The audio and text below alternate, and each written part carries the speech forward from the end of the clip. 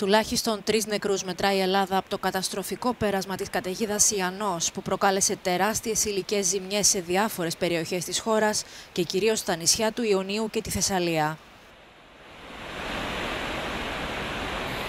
Αγνοούμενη παραμένει μια γυναίκα στο μουζάκι Καρδίτσας.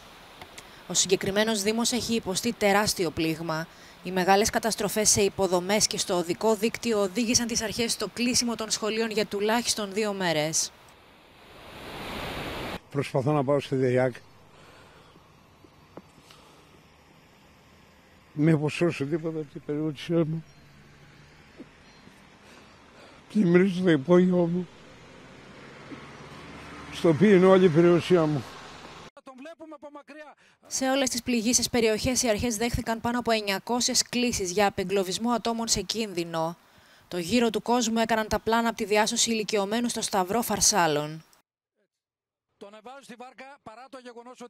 Εκατοντάδες είναι και οι κλήσεις για άντληση υδάτων από σπίτια και καταστήματα, οι περισσότερες στη Θεσσαλία και τα νησιά του Νοτίου Ιωνίου. Προς το μέσο στο κέντρο γίνεται κόλαση.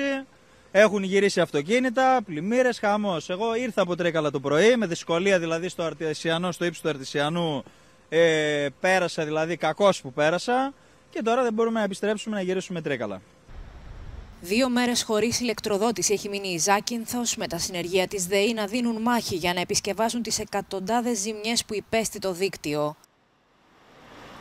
Στην Κεφαλονιά το Υπουργείο Ναυτιλίας ανακοίνωσε ότι έχουν βυθιστεί 43 σκάφη διαφόρων τύπων.